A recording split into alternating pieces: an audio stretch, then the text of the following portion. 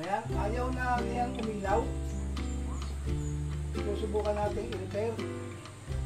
Kaya, kaya lang, selyado siya eh. Kaya pag-iisipan natin,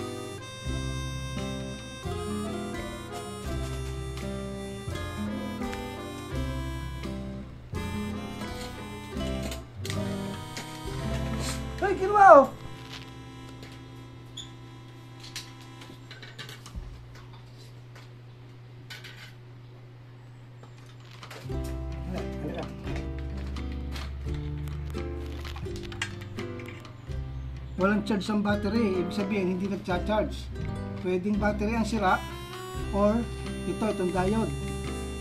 Itatry natin i-manual i-manual i-charge tong battery.